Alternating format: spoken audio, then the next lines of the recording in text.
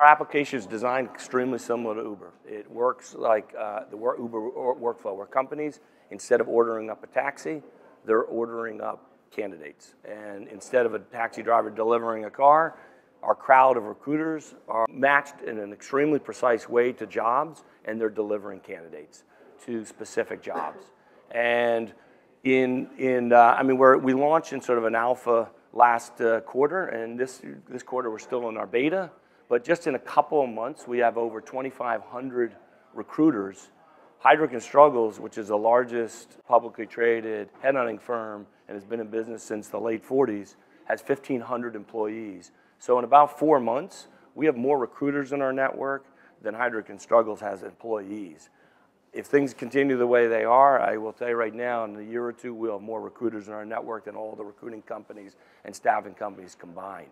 Because actually, a lot of the staffing companies are joining us, and they're actually signing up their recruiters as suppliers because it's a way for them to essentially sell candidates on an on-demand basis. And that's the way it's working. In fact, we just uh, placed, I think, uh, the fastest hire ever made at a very a top uh, consulting company. In 23 hours, they found on our platform a candidate for a PeopleSoft integration job um, that was about a $140,000 job. So they sent out the job cast, and the crowd delivered results in 23 hours, and they made a hire. It took them 47 days to make the hire.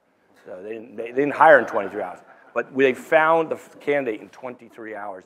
And we're pretty much can uh, assure clients that within three or four or five days, you're gonna, you're gonna find your hire pretty much every time now for any position from admin all the way up to maybe like a managing director. We don't see a lot of C-suite jobs, but it's kind of, it's going across pretty much every industry.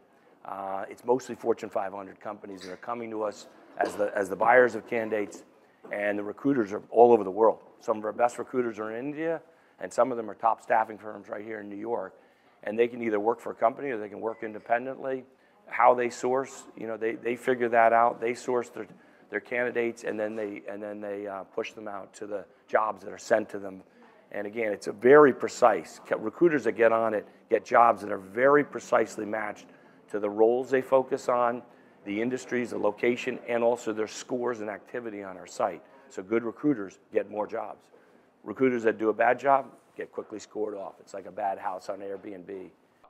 Can you share like experience of your clients? Yeah, so I, it's still early days for us and other companies in kind of the marketplace for, for HR services, but I think the the early results are, are super impressive. Um, we're definitely getting a lot of companies coming to us and, and thinking and, and, and looking at us as a strategic um, sourcing solution for a portion of their jobs where we can be so, act like a recruiting processing outsourcing company and do so without a long-term contract, without any disruption of their people, and they only uh, use us when they need us, and they only pay for us when they get a result. When the, our economic model is when a hire is made, we charge a flat 14% fee of base salary. So $100,000, we charge 14,000. And then we send, we pay our recruiters 11 points out of the 14. So uh, all the recruiters that participate in a job cast get a little bit of money if their candidate was indicated that they were liked by the company. Um, and then the winning recruiter gets 10, 10, 10 points or 10,000 in the example of a $14,000 fee. So the people who don't who submit candidates but are not the hire, they, they score a couple bucks too. Yep, they typically get anywhere from 50 to Yep. as long as the company is in, with them, I'm sorry? you're rev sharing with them. Yeah, what we're doing is we're gamifying it. So recruiters are, are uh, incented to participate because they get points and money even if they don't make the hire. So they might get 50 to 250 bucks on average for submitting a good candidate. A candidate gets submitted. The company that looks at, uh, when the company's looking at candidates, they have to sort the candidates into an interested or not interested bucket to move to the next candidate. So we're forced, they're, they're it's super easy to use, but that's scoring the recruiter. And that is also how we calculate the payout. So the recruiters, uh, if you put two candidates into an interested bucket, that recruiter will get paid for those interested candidates a little bit of money. And then if you make a hire, they get paid on average about $10,000 for a hire.